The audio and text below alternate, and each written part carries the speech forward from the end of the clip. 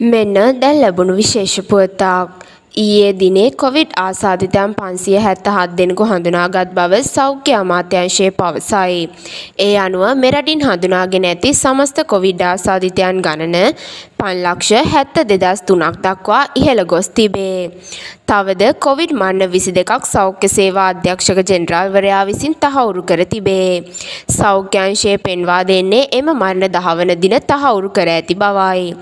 ඒ අනුව මෙරටින් මේ දක්වා වාර්තා වී ඇති මුළු කොවිඩ් මරණ ගන්න දාහතරදස් පන්සිය අනූ පහකි. මෙවැනිම පුවත් ලද සැනින් දැනගැනීමට අපගේ YouTube නාලිකාව මේ දැන්ම සබස්ක්‍රයිබ් කරන්න.